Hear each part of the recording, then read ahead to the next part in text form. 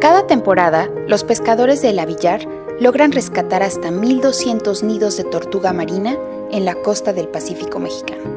Su labor es de protección, educación, conciencia y esperanza. Hace siete años, Alonso Ramírez Galeana colgó sus redes de pescador y se convirtió en protector de tortugas y presidente del campamento.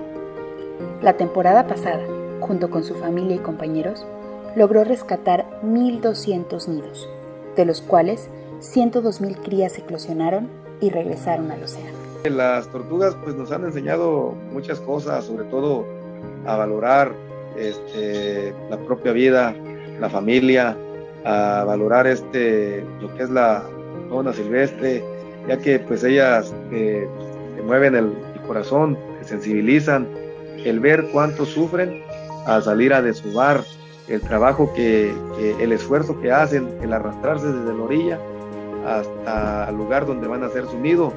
El 8 de junio, la Organización de las Naciones Unidas observa el Día Mundial de los Océanos. Este año, el tema será el océano, vida y medio de subsistencia.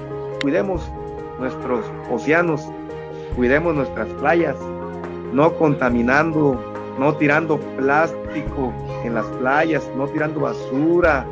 Eh, igual las personas que están en el centro del país, se les dice lo mismo, que hagamos conciencia, este, hay que reciclar, no hay que tirar, no hay que tirar basura, porque finalmente toda esta basura viene por los ríos y va a parar en las, en las, en las playas.